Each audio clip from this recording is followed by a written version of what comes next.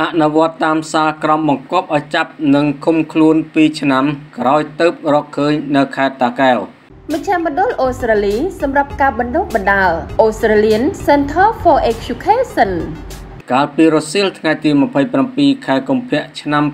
2024កម្លាំងសមត្ថកិច្ចការិយាល័យនគរបាលព្រំប្រទានកម្រិតធ្ងន់រាជធានីភ្នំពេញបានចាប់បញ្ជូនស្ត្រីម្នាក់ទៅតុលាការដែលជាការអនុវត្តតាមអំណាចសាលក្រមបង្គាប់ឲ្យចាប់ខ្លួននិងយកទៅឃុំខ្លួននៅក្នុងពន្ធនាគារកំណត់2ឆ្នាំជាប់ចោទពីបទ មិនបំពេញកាតព្វកិច្ចចំពោះឧបករណ៍អាចជួញដូរបាន ជនជាប់ចោទឈ្មោះផាន់សុភារីភេទស្រីអាយុ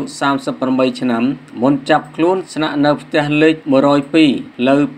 296សង្កាត់ទួលស្វាយព្រៃ2ខណ្ឌចំការមនរាជធានីភ្នំពេញ តាមដីកាបង្គាប់ឲ្យចាប់ខ្លួន និងឃុំខ្លួនឈ្មោះផាន់សុភារីត្រូវបានសាលាដំបងរាជធានីភ្នំពេញសម្រាប់តាមសាលក្រមព្រំប្រទានលេខ2471ង1ចុះថ្ងៃទី7ខែកញ្ញា ឆ្នាំ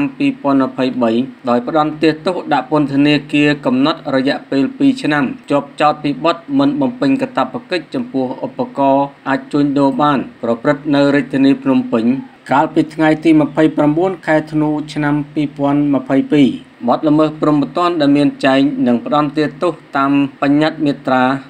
231នៃច្បាប់ស្តីពីឧបករណ៍ដែលអាចជួញដូរបាននិងប្រតិបត្តិការទូទាត់សងប្រាក់និងសម្រាប់ចេញនៃការបង្កប់ឲ្យចាប់និងឃុំខ្លួនឈ្មោះនេះនៅមណ្ឌលអប់រំកែប្រែម៉2នៃក្រសួងមហាផ្ទៃដើម្បីអនុវត្តទោសតាមអំណាចសារក្រមព្រហ្មទណ្ឌតាមមាត្រា353នៃ ក្រមនីតិវិធីព្រហ្មទណ្ឌតាមប្រភពព័ត៌មានពីសមត្ថកិច្ចឲ្យដឹងថាជនជាប់ចោតពាក់ព័ន្ធចេញ